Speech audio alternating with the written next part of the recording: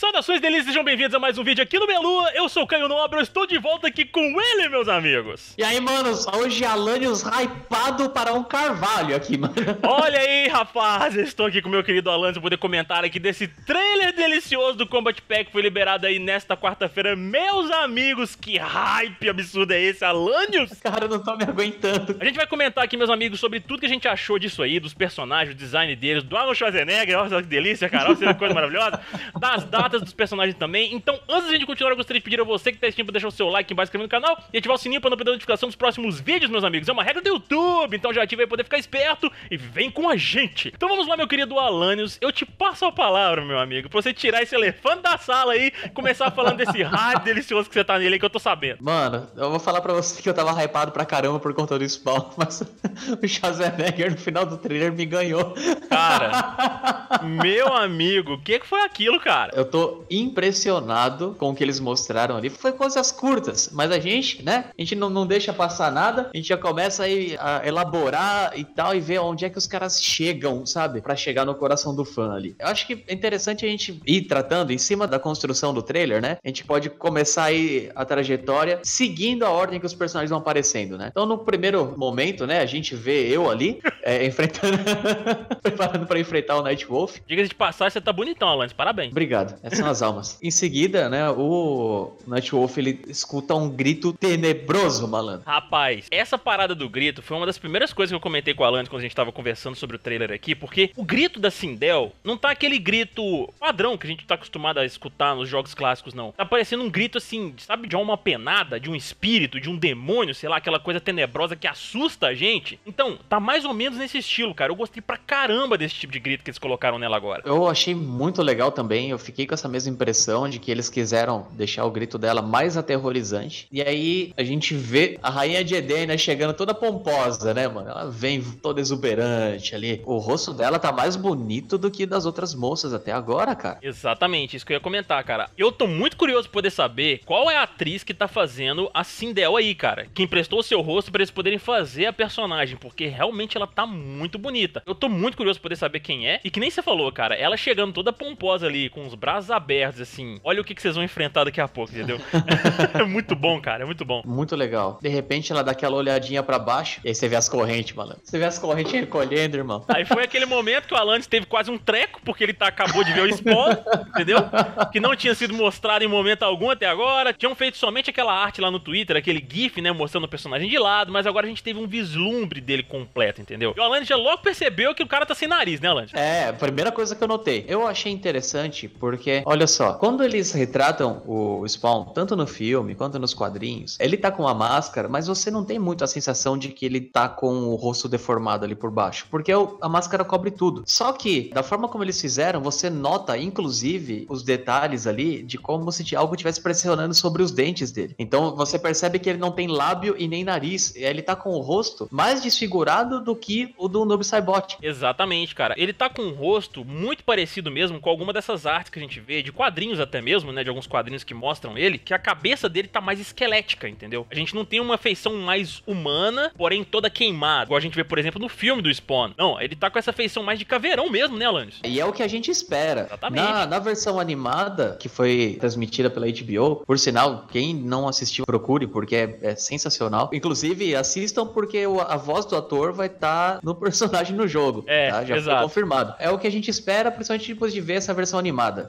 Então você percebe ali aquele suco, né, na parte da máscara aí onde ficaria o nariz, então tá, tá pra dentro ali. Porque ele foi queimado por inteiro, então ele tá tudo arrebentado. O cara Sim. tava podre. Os detalhes, a textura. Eu fiquei muito preocupado com a questão da capa dele, fiquei com medo dela ficar um pouco plástica demais, mas você percebe que tem um tom meio de veludo ali na capa. Eu achei isso muito interessante. Eu gostei muito, sabe? O brilho dos olhos dele ali ficou um negócio natural, não ficou aquele negócio forçado. Sabe uma coisa que eu pensei que seria legal se eles tivessem feito, Alan? Mas assim, para mim ficou perfeito. A amostragem do personagem aqui para nós e tal. Mas seria ainda mais foda, na minha opinião, claro, quando eles se aproximassem do rosto do Spawn, a máscara saísse e mostrasse o caveirão. Mano! Nossa, mano.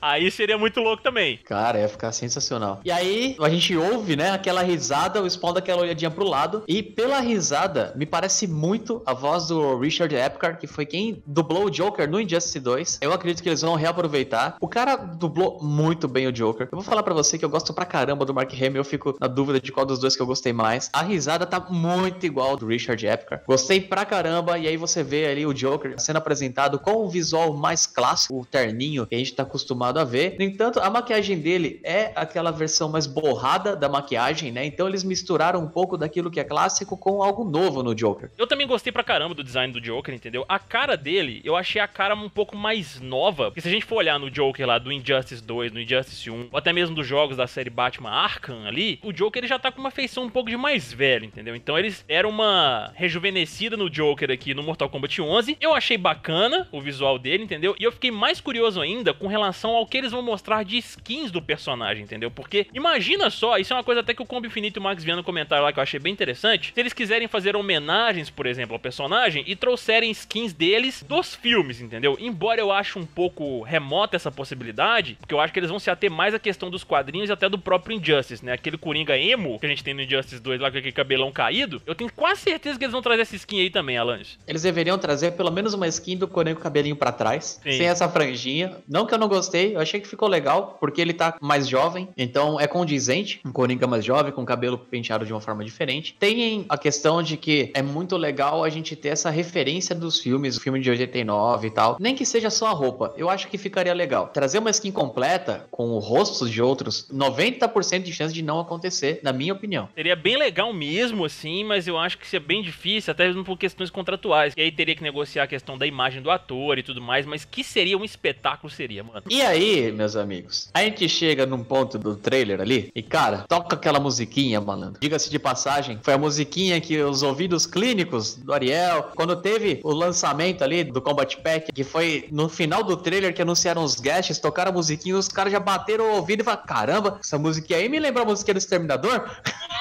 é, mano, foi o Ariel que percebeu isso aí de prima lá. Aí eu peguei o vídeo, dei uma invertida no áudio lá no momento, a gente tocou ao contrário. E, cara, realmente parecia muito a música do Terminator. E olha aí agora, né, Alan? E olha só quem que é. Então, um toquinho, os caras já pegaram ali e tal, e realmente acertaram, foi bem legal. E isso. Ai, fala aí, Caio, eu não consigo, eu vou chorar. Cara, você ver o Arnold Schwarzenegger no Mortal Kombat 11 é uma coisa assim, poder deixar os fãs de filmes dos Brucutus da década de 90 e fãs de Mortal Kombat também, que veio lá da década de 90, que começou Mortal Kombat 1 ali, não tem como descrever a sensação, porque é uma coisa assim, fora do comum, entendeu? E a gente vê a aparência do Arnold já, ele mais velho, entendeu? A cara dele ferrada, né? Mostrando um pedaço dos esqueletos lá, o olho robótico dele que ele tem também. Rapaz, eu achei um espetáculo e quando ele dá aquela olhadinha de lado, dá aquela serrada no olho assim, e chega todo mundo atrás dele, eu falei, meu amigo, parabéns, Netherrealm, parabéns, entendeu? O design dele tá espetacular. E com relação a skins do Arnold Schwarzenegger, Alanis, que eu acho que a gente pode esperar aí, a gente tava até conversando aqui antes da gravação, a gente não acredita que eles vão colocar a versão esquelética completa dele, até mesmo porque senão eles tiram a aparência do Arnold, né? Então, eles no máximo devem colocar ele mais novo, ele sem barba, com outra roupa, cor de roupa diferente, algumas partes mais ferradas no corpo dele, né? Mostrando o endoesqueleto dele, entendeu? De repente o braço todo esquelético, a perna, alguma coisa do tipo, mas o rosto eu acredito que eles vão sempre manter da mesma forma. Eles devem, tipo, rejuvenescer ele de alguma forma, poder ficar parecido com o filme lá da década de 90 também. Eu acho que todo esqueletão fica fora. Acho que seria interessante fazer uma versão rejuvenescida, porque aí você faria referência ao primeiro filme do Terminator, que ele aparece jovem, peladão lá, pra caçar. Ah, você tá querendo ir pelado no jogo, né, Alan? Entendi, entendi. É. Alanis que é o Arnoldão pelado no jogo, entendi. Depois daquela olhadinha? Outra coisa que a gente poderia especular aqui, mas a gente não tem tanto tempo assim, como é que funcionariam os Fatalities e Fatal Blows em personagens como Spawn e o Terminator? Uma vez que o Terminator ele não tem os órgãos igual nossos, né? Como é que funcionaria, por exemplo, o Fatality do Nightwolf, que ele abre ali a parte da frente do boneco ali e joga a machadinha cortando o morango ao meio? E o Spawn também, o corpo dele é feito de necroplasma, então ele também não tem nada por dentro ali. Daria para fazer alguma coisa similar ao do Predador com o Spawn, porque você pode imaginar que o corpo dele por dentro possa ser os órgãos e o esqueleto tal, simulando o necroplasma ali. No entanto, a gente sabe que, por diversas vezes, né, na hora que mostraram ele com um buraco do lado, alguma coisa assim, que é, é vazado, é só um líquido verde e não tem nada demais ali. Terminator realmente não tem órgãos internos tal, então fica a dúvida, né? Fica a curiosidade, na verdade, de como é que eles podem trabalhar Crushing Blow e Fatal Blow nesses personagens. Então, cara, eu também não faço ideia como é que eles vão fazer isso.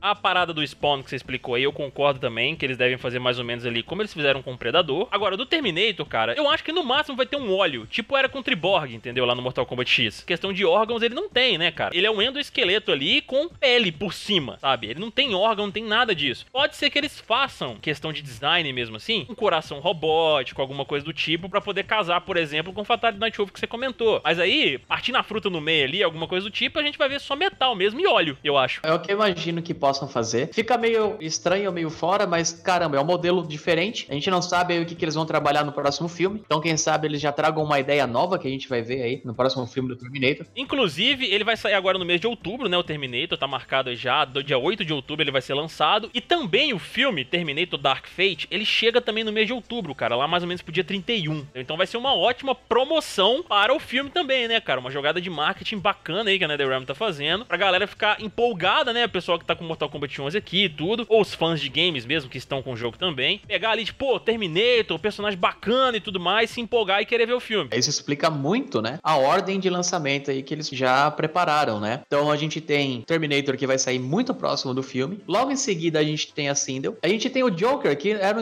um personagem que praticamente ninguém esperava. E lá no final, né, para manter todo mundo com nível de empolgação lá em cima até o final do Combat Pack, em março. Puta, março, cara. Não, março não, cara. Março Alan... não, cara. Março vem Spawn. A hora que o Alanis vê essa data, mas ele ficou tão chateado, gente. Mas tão chateado, vocês não têm noção. Chateado, o cara tá sendo bonzinho. Eu fiquei puto mesmo.